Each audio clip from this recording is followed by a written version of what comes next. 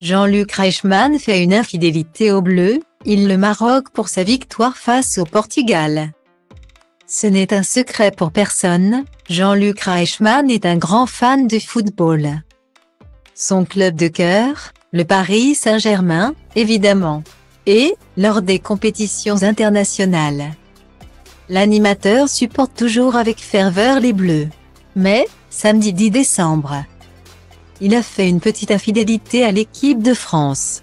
Après la victoire du Maroc face au Portugal en quart de finale de la Coupe du Monde au Qatar, victoire historique, c'est la première fois qu'une sélection africaine se qualifie pour les demi-finales de la Coupe du Monde. Il a félicité les Lions de l'Atlas sur les réseaux sociaux. Bravo le Maroc, s'est extasié Jean-Luc Reichmann sur Twitter à grand renfort d'émojis tweet qu'il a accompagné d'une photo de lui pouce levé vers le haut, sur laquelle il apparaît affublé de tous les accessoires fétiches d'un supporter des Bleus, casquette tricolore et écharpe assortie. Avec un poule de Noël bleu-blanc-rouge. L'animateur est prêt pour le match France-Angleterre. Qui déterminera l'équipe qui affrontera le Maroc, donc, en demi-finale, mercredi 14 décembre. Jean-Luc Reichmann n'est pas le seul à s'être ému de la victoire historique du Maroc sur le Portugal.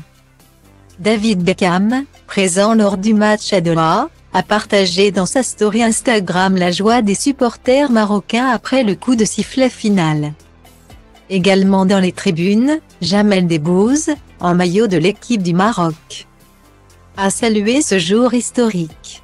It's a big day, lui répond David Beckham dans la vidéo historique. Et c'est pas fini. Quelle fierté. On sera avec vous jusqu'au bout. C'est réjoui Gad Elmal sur le réseau social. Bravo au Maroc c'est FOU. Et c'est pas volé. A commenté Matt Pokora sur Twitter, lui qui aimerait voir une demi-finale France-Maroc.